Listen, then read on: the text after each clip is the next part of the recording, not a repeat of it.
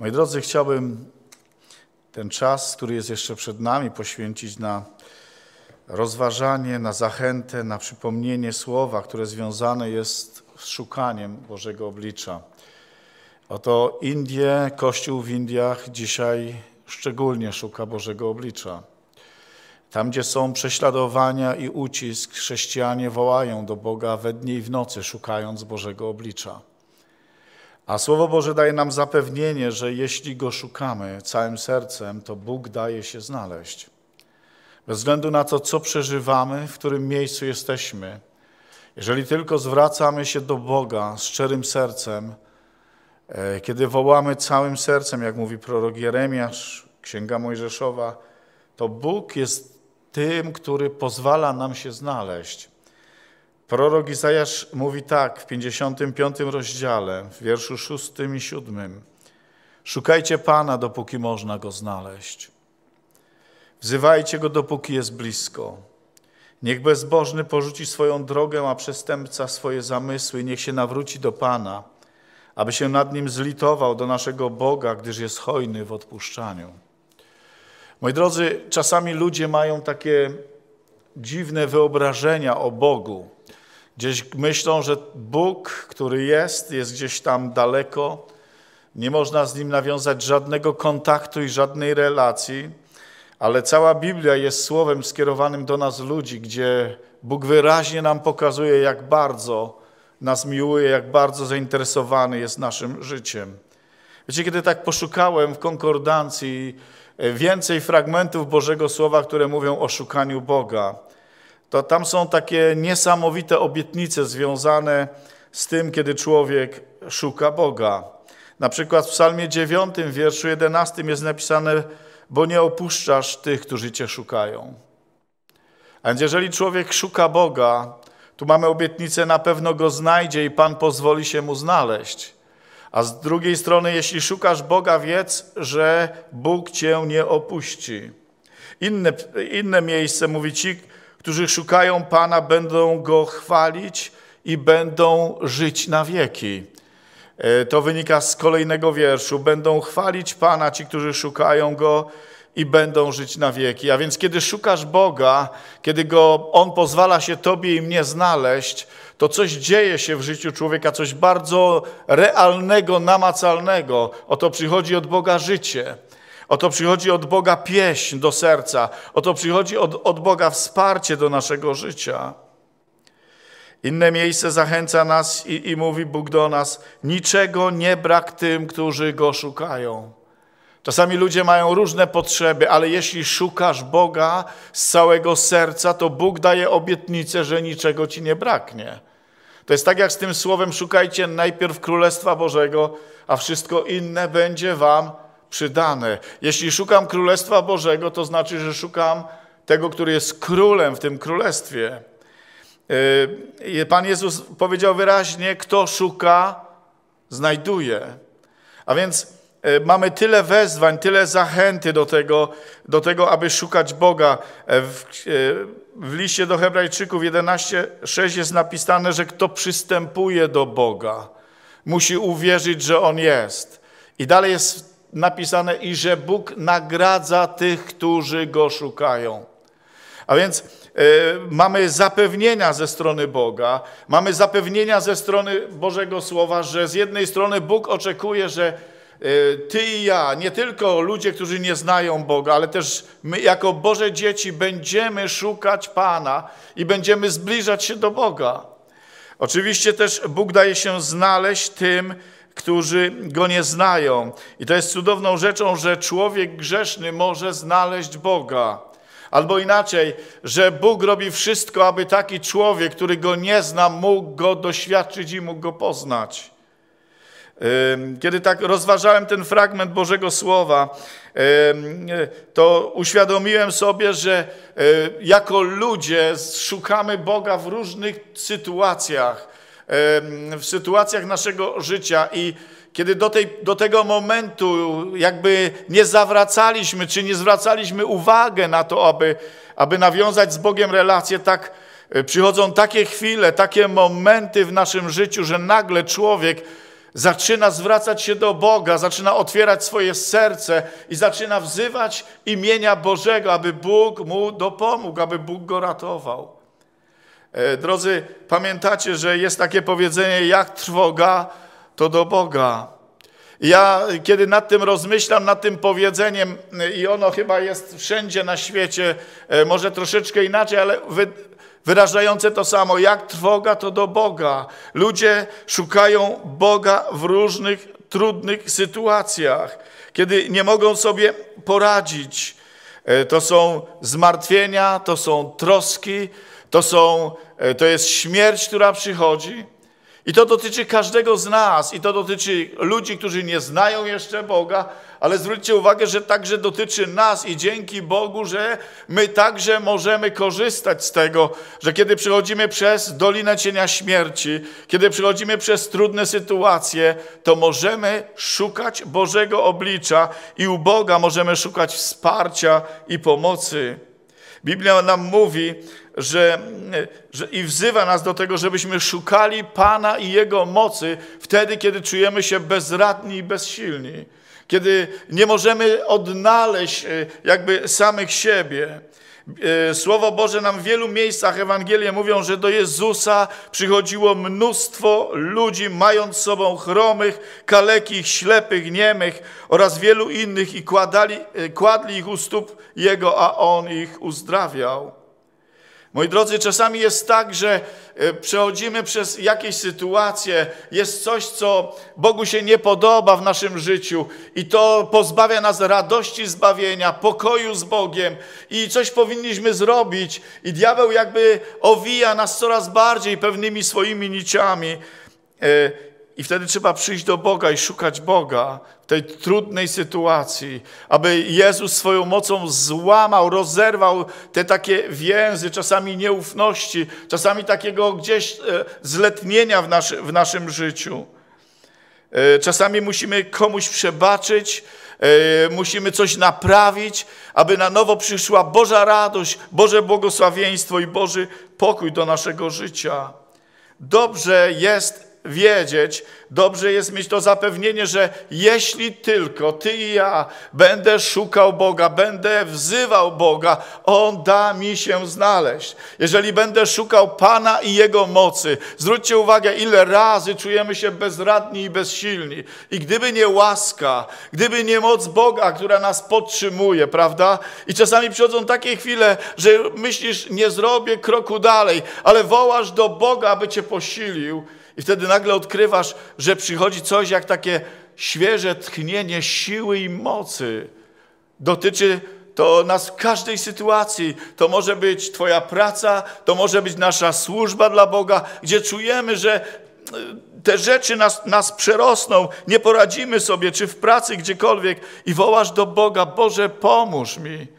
Ja przypominam sobie, jak y, jakiś biznesmen, który prowadził firmę, on mówi tak, nauczyłem się rozpoczynać dzień mojej pracy, wchodzę do biura, zamykam na chwilę drzwi i y, otwieram Boże Słowo, coś czytam, później klękam i proszę Boga, aby mi pomógł w ciągu tego dnia y, w mojej pracy, w tym, co mam do wykonania, aby Jego ręka, Jego prawica była ze mną i wsparła mnie. Drodzy, to jest nic innego jak to, że szukamy Boga i mówimy: Boże, bez Ciebie sobie sami nie poradzimy w życiu, ale potrzebujemy Ciebie nie tylko w kościele, nie tylko na nabożeństwie, potrzebujemy Ciebie, Boże, tam gdzie pracujemy, w naszych domach, gdziekolwiek jesteśmy. Szukajcie Pana. Szukajcie Pana i Jego mocy, aby udzielał nam mocy w każdej sytuacji, gdziekolwiek jesteśmy, a Pan da się znaleźć. Moi drodzy, inną rzeczą jest, e, to e, wspomniałem w tym wersecie, ale chcę tutaj szczególnie, jak choroba e, powoduje, że odbiera nam radość życia, przynosi strach do serca, kiedy nie możemy sobie już poradzić, szczególnie teraz w pandemii, kiedy widzimy te różne sytuacje. Dzięki niech będą Bogu, że Bóg Ciebie i mnie chroni do tej pory. Może przechodziliśmy, e, wielu z nas przechodziło przez tą chorobę, ale Bóg nas z tego wyprowadził. Bóg dał nam ochronę.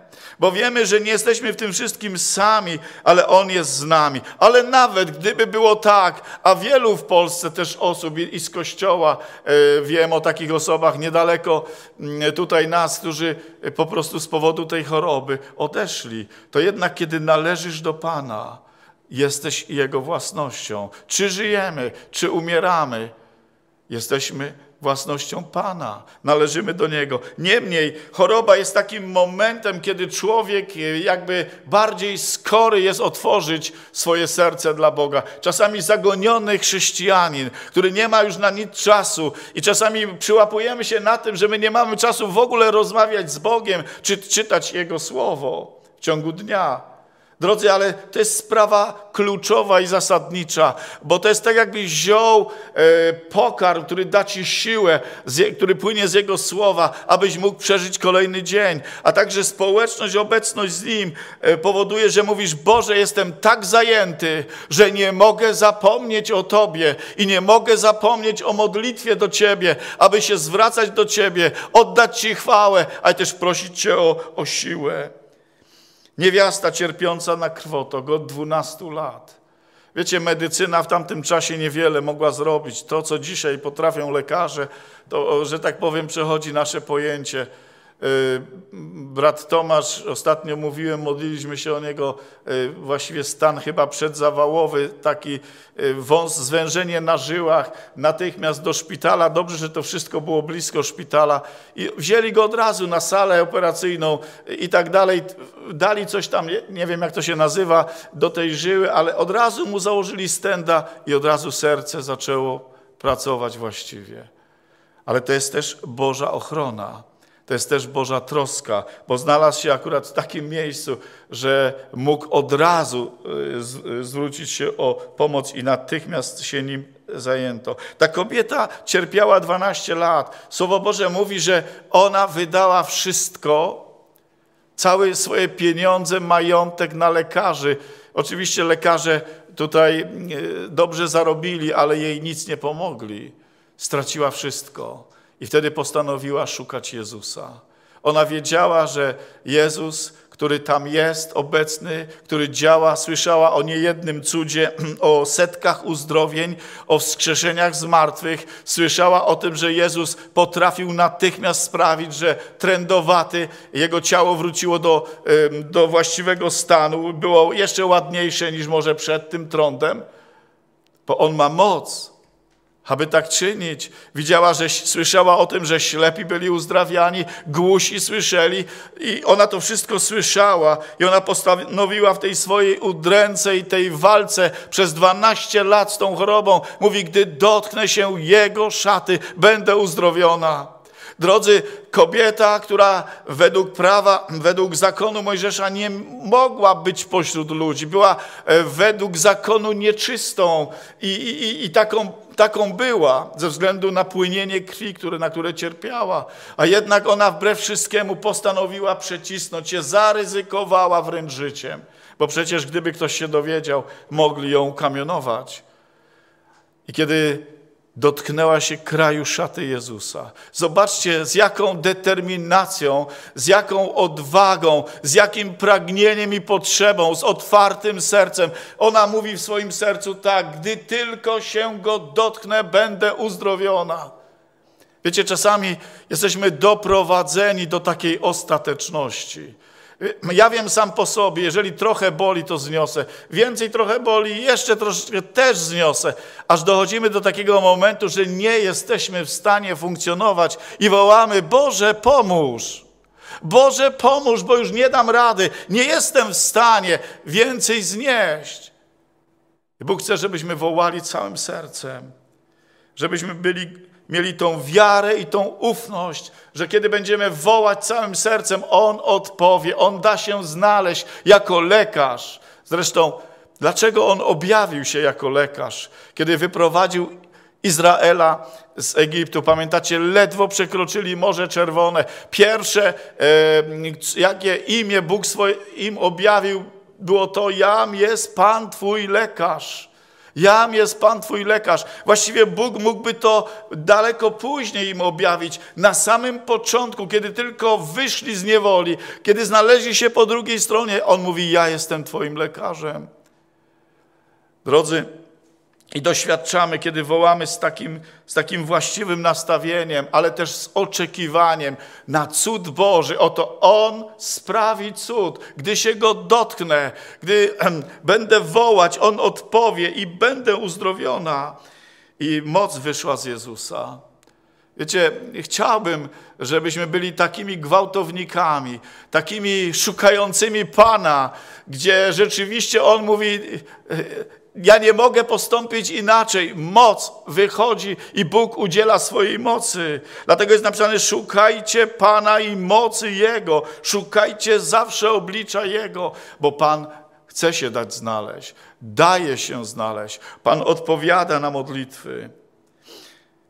Kiedy Jezus zapytał, kto się mnie dotknął, ludzie byli zdumieni, bo tam wszyscy się cisnęli ale ta kobieta doświadczyła uzdrowienia. Wszyscy dotykali Jezusa wręcz, ale to ta kobieta, która mówiła w swoim sercu, gdy tylko dotknę z kraju szaty. Czy przychodzimy tak z taką wiarą do tronu łaski? Czy z taką wiarą, czy wiesz, czy wiesz, że Bóg miłuje ciebie w całej twojej sytuacji, w jakiej jesteś i nie musisz coś tam zrobić, żeby zyskać przychylność Boga? Biblia mówi, że miłość Boża ogarnia nas, otacza nas. A więc ta, ta e, miłość Boga jest skierowana do, do człowieka, szczególnie do tych, którzy go umiłowali. Ja przypominam sobie historię króla Asy, który przez 41 lat rządził w państwie judzkim. Był to człowiek wiary, człowiek oddany. I, i dziwną rzeczą jest, że na końcu swojego życia gdzieś tam zaczął oddalać się od Boga. Już jego serce nie było tak otwarte dla Boga, bo Biblia mówi, kiedy zachorował na nogi, kiedy nie mógł chodzić, nie mógł się poruszać, on nie poszedł do świątyni jak wcześniej, nie poszedł do, e, w swoim e, pałacu, na, nie upadł na twarz i nie wołał: Boże, uzdrów mnie. Ty widzisz, jak cierpię ale jest napisane, że szukał pomocy u lekarzy. I ja powiem tak, nikt z nas nie ma żadnych tutaj jakichś yy, no, niewłaściwego spojrzenia, jeśli chodzi o medycynę. Cieszymy się, że Bóg daje mądrość i takie możliwości lekarzom, bo często Bóg działa przez nich i nam pomaga, ale przychodzą też takie chwile, gdzie żaden lekarz ci nie może pomóc. Ale nawet jeśli ci pomoże, i jest, to w, jest w stanie to zrobić. Może być tak, że zanim pójdziesz do lekarza, będziesz wołał: Boże, Ty możesz przecież mnie uzdrowić. I wielokrotnie doświadczamy Jego mocy, Jego uzdrowienia i Jego łaski, bo Pan daje się znaleźć jako lekarz. Skoro objawił swoje imię, że jest Twoim i moim lekarzem, to znaczy, że tak jest. Najwięcej cudów, jakie Jezus uczynił, to były właśnie uzdrowienia. Moi drodzy, y, mogą być ludzie związani i opętani. I, i, I, potrzeba naprawdę mocy Bożej, aby tacy ludzie zostali uwolnieni od złego ducha. Brat Mirek tutaj mówił w czwartkowym świadectwie coś na ten temat y, o tym księdzu ewangelickim, który z tym się musiał zmierzyć, czy metodystycznym, już teraz nie wiem. Y, w każdym razie są takie sytuacje, gdzie Bóg jeśli z Nim blisko chodzimy, możemy być tym narzędziem, którego Pan użyje, aby uwolnić człowieka, który jest związany demonicznie. Oto wielu ludzi przychodziło, tu czytaliśmy, wielu ludzi opętanych, związanych demonami, którzy nie kontrolowali samych siebie, ale byli pod kontrolą przeciwnika. Przychodzili do Jezusa albo z nimi, albo oni, albo Jezus do nich i Jezus ich uwalniał. Jezus ich uwalniał. Wiecie, nareszcie mogli się spokojnie położyć spać. Pamiętam tego chłopca, którego ojciec przyprowadził pierwsze do uczniów i nie mogli wypędzić demona, bo nie mieli wiary. Nie mieli wiary. On mówi, ten demon go bierze i rzuca go w ogień, i rzuca go do wody. Chciał go zabić. I już ja mówi, ja już nie mam rady, nie mam siły i kto jest w stanie pomóc? wtedy Jezus, który tam doszedł do, do nich, mówią, twoi uczniowie nie mogli. A jeśli ty możesz, a Jezus mówi, co to znaczy, jeśli ja mogę? O, I od razu się zastanowił, o Panie, ja wiem, że Ty wszystko możesz, pomóż mojemu niedowiarstwu. I Jezus natychmiast zgromił tego złego ducha i chłopak mógł normalnie funkcjonować. A więc wiele takich historii, takich rzeczy. Oto szukamy Boga wtedy, kiedy jesteśmy w różnych potrzebach. Czy to choroba, czy to troska i zmartwienie, czy to yy, związanie, kiedy ludzie są związani yy, złymi, złymi duchami, możemy wzywać Boga. Ale najważniejsze jest, moi drodzy, kiedy człowiek szuka Boga po to, aby doświadczyć zbawienia, aby doświadczyć przebaczenia swoich grzechów, aby znaleźć w swoim sercu tą świadomość i to przekonanie, Bóg przebaczył mi moje grzechy. Oto jestem wolny, wolna, czysty. Oto mogę teraz wielbić Boga i wiem, że należę do Niego, bo wzywałem Go, a On odpowiedział i przebaczył mi. Wiecie, ta, ta świadomość przebaczenia grzechów przychodzi, kiedy człowiek szczerze zwraca się do Boga. Nie ma człowieka. Teraz czytam taką książkę e, Charlesa Swindola na temat łaski. Bardzo mocno akcentuje. Oto nie, może, nie możesz kupić, zapracować, zarobić. Łaska ci jest dana, zbawienie ci jest dane darmo. Przez proste zaufanie Chrystusowi. Ty albo to przyjmiesz, albo to odrzucisz. Nie możesz do tego nic dodać. Oto Jezus oddał życie za ciebie. I tutaj przypominam sobie takiego człowieka, Zacheusza, pamiętacie, e, celnika, który był małego wzrostu i Jezus przechodził tam przez tą miejscowość, przez Jericho i on spiął się na drzewo sykomory, leśnej figi i chciał zobaczyć Jezusa. Ale ja sądzę, że on chciał zobaczyć Jezusa, bo wiedział, że w jego życiu jest tyle nieprawości.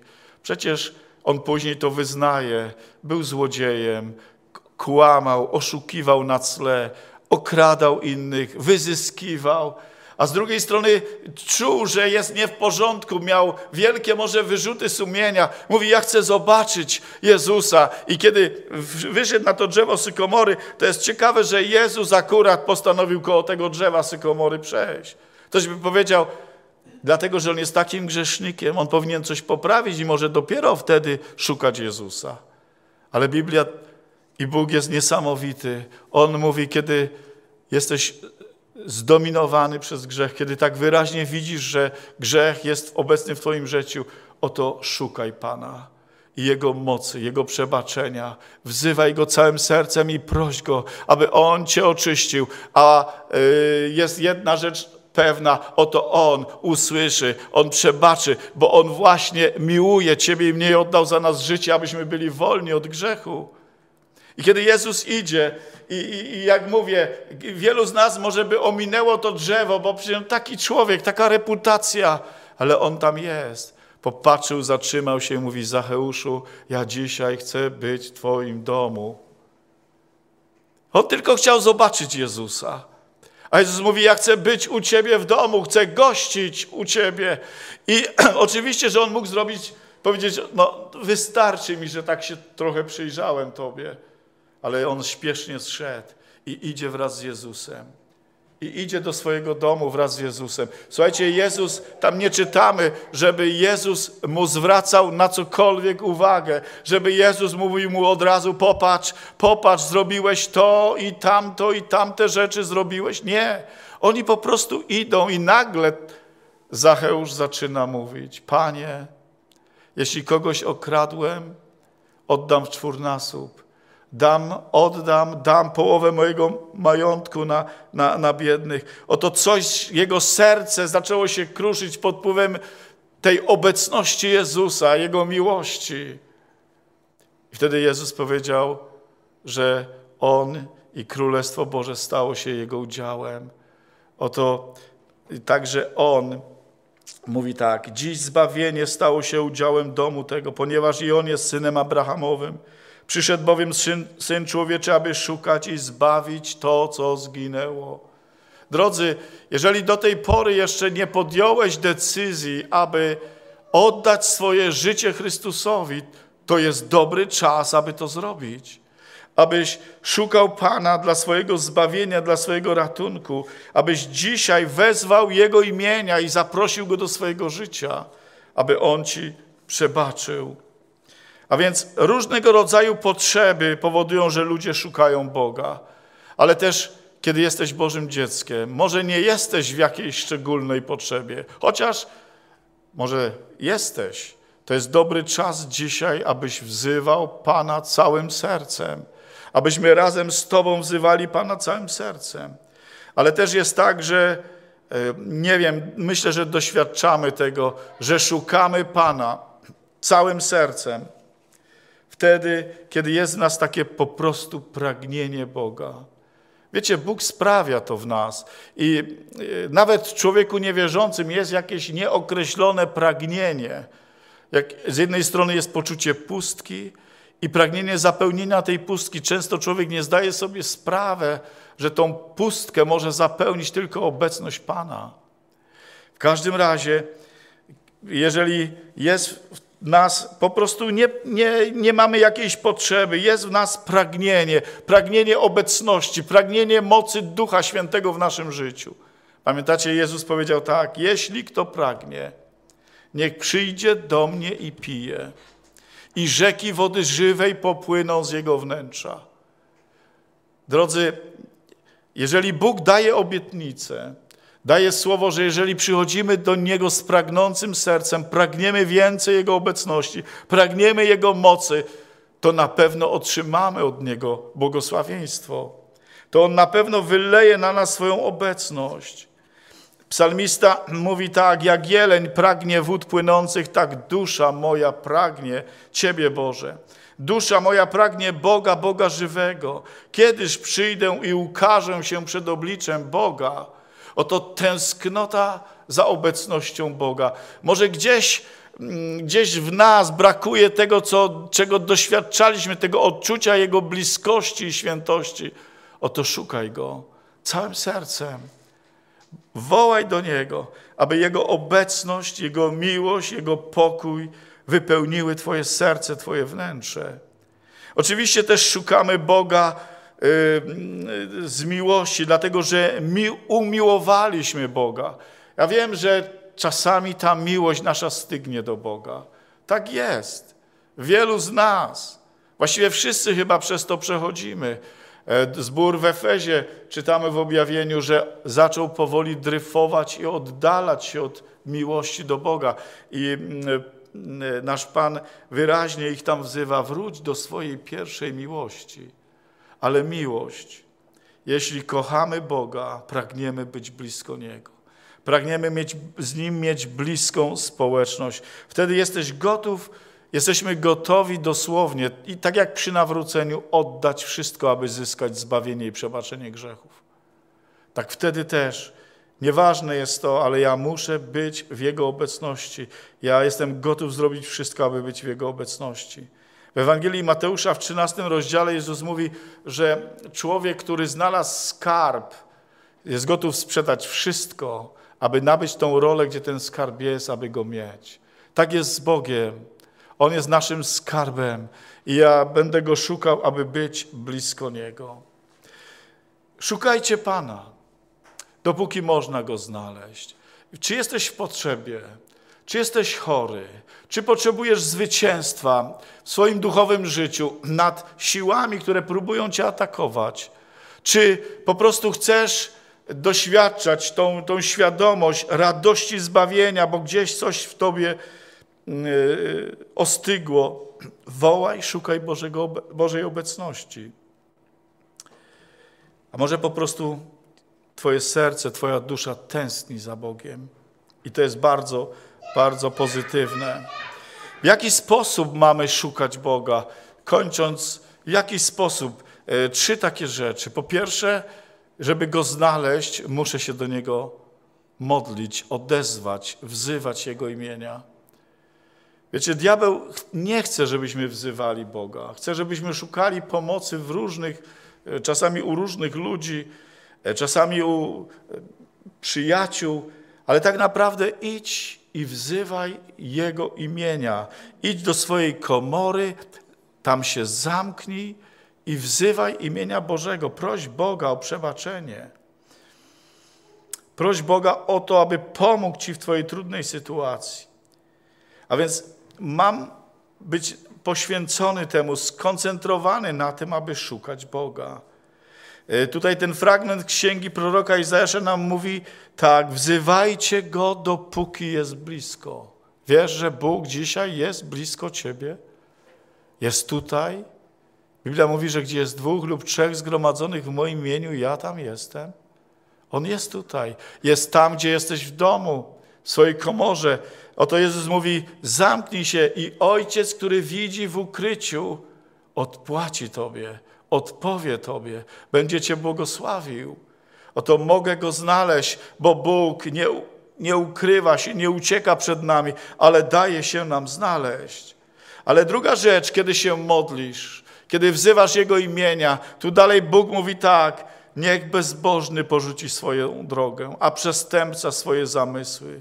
Niech się nawróci do Pana, aby się nad nim zlitował. Kiedy chcę Go znaleźć, szczerze mi na tym zależy, to też Bóg oczekuje, że kiedy zacznę Go wzywać, do Niego się modlić, muszę usunąć to, co Bóg mi pokazuje, że Jemu się nie podoba. Wszelki grzech. Jak mówię, to może być nieprzebaczenie, to może być złość, to może być zazdrość, to może być gniew, cokolwiek to jest. Jeżeli chcesz doświadczyć mocy Boga i zbliżyć się do Boga, po prostu wyznaj te rzeczy. Bóg ma moc, aby ciebie i mnie od tego uwolnić, od wszelkiego grzechu. Chrystus oddał za nas życie i umarł za każdy grzech. A więc każdy grzech może, od każdego grzechu mogę być oczyszczony i uwolniony. Bóg mi przebaczy. Pamiętaj, żyjemy pod łaską, a łaska jest nam dana w Jezusie Chrystusie i przez Jezusa Chrystusa. Czasami, tak jak Dawid, robimy różne rzeczy, niewłaściwe rzeczy, ale ta łaska pozwala nam, że Bóg jest gotów nam przebaczyć ze względu na swoją miłość i łaskę, którą chce nam okazać. Jeżeli oczywiście pokutujemy, jeżeli całym sercem odwracamy się, wyznajemy nasz grzech i naszą nieprawość. Jan Chrzciciel wzywał sobie współczesnych do tego, aby prostowali swoje ścieżki, swoje drogi. A później jest napisane, że ich chrzcił, kiedy już pokutowali, wyznawali swoje grzechy. Oczywiście, że ten chrzest Jana był tylko przejściowym. Teraz mamy chrzest Nowego Przymierza i przez wiarę, kiedy przyjmujemy Chrystusa wiarą, później wyznajemy Go w chrzcie i utożsamiamy się z tym, co On dla nas zrobił na krzyżu.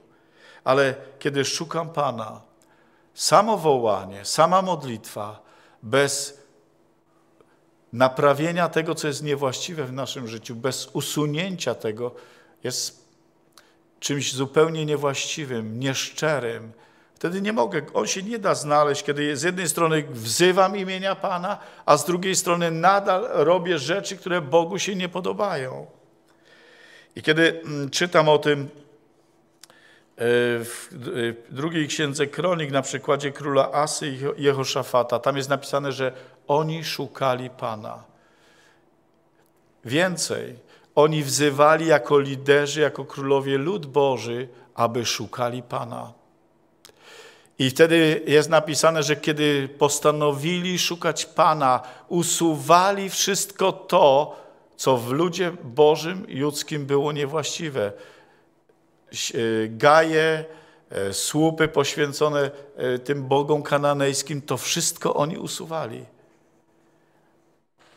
Dlatego dobrze jest zachęcać siebie i wzywać: szukaj Pana, dopóki daje się znaleźć. Szukaj Jego mocy, bo On chce Ci udzielić swojej mocy i swego błogosławieństwa. Ale kiedy Go szukasz, prostuj swoje drogi. Kiedy Duch Święty i Słowo Boże wyraźnie Ci pokazują, że to i to jest niewłaściwe, wyznaj to, proś o oczyszczenie i usuń to ze swojego życia a wtedy Bóg okaże łaskę i dać się znaleźć. I trzecia rzecz, która związana jest z tym wyznawaniem, tu jest napisane, że mamy Go szukać, mamy Go wzywać, mamy porzucić niewłaściwe rzeczy, mamy się nawrócić do naszego Boga, gdyż jest hojny w odpuszczaniu.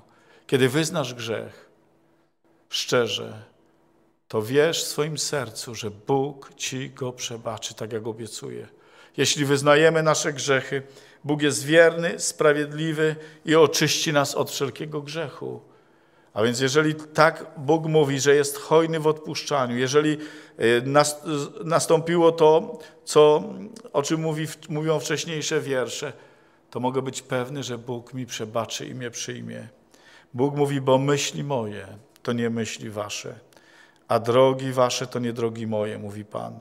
Lecz jak niebiosa są wyższe niż ziemia, tak moje drogi są wyższe niż drogi wasze i myśli moje niż myśli wasze. I mówi, słowo moje jest jak deszcz, jak śnieg, które wykonuje moją pracę. A tym słowem, które Bóg kierował do nich, mówi, szukajcie Pana. Da się wam znaleźć w każdej sytuacji. A kiedy nie ma jakiejś szczególnej potrzeby, szukajcie Pana, aby cieszyć się Jego świętą obecnością i działaniem Jego świętego ducha. Chciejmy się modlić. Chciejmy się modlić, wzywać imienia Pana. Chciałbym, żebyśmy powstali. Czy jesteśmy gotowi Go teraz szukać, wzywać Jego imienia? Czy jest jakaś potrzeba, z którą chciałbyś się zwrócić do Boga? Czy jest coś, jakieś brzemię, które chciałbyś zostawić? Chciałbyś, żeby Pan wkroczył i Ci pomógł i Cię od tego uwolnił? Czy jest to choroba, czy jest to troska, cokolwiek by to było, oto Pan mówi: wzywaj mnie, wzywaj mnie w dniu niedoli, szukaj mnie, szukaj mojej mocy. Tak mówi Jego, Jego święte słowo. Czy jesteś gotów zostawić to wszystko, co Bogu się nie podoba, bo chcesz znaleźć Pana, chcesz doświadczyć Jego łaski, Jego mocy, Jego przebaczenia? Panie, tak dziękujemy Ci, że jesteś tutaj obecny. Dziękujemy Ci, że do Ciebie należy wszelka moc. Ty okazujesz łaskę i dziękuję Ci, że Panie dajesz się znaleźć swojemu ludowi nie tylko w momencie nawrócenia, Panie, ale możemy Cię szukać każdego dnia, aby mieć więcej i więcej i doświadczać więcej z Twojej łaski i mocy w naszym życiu. Panie, wyznajemy, że sami sobie nie poradzimy w naszym życiu. Nie poradzimy sobie tam, gdzie jesteśmy, gdzie pracujemy. Panie, we wszystkim potrzebujemy Twojej łaski i pomocy. I chcemy wyznać, Panie, że Ty jesteś naszą siłą i mocą. Ty jesteś tarczą i ochroną. Ty jesteś naszym lekarzem, Panie. Tak dziękujemy Ci, Boże. Panie, chcemy całym sercem Ciebie szukać, tak jak mówi Twoje słowo, a Ty dasz się nam znaleźć. Panie, dzisiaj chcemy odbierać błogosławieństwo i łaskę i moc dla naszego życia.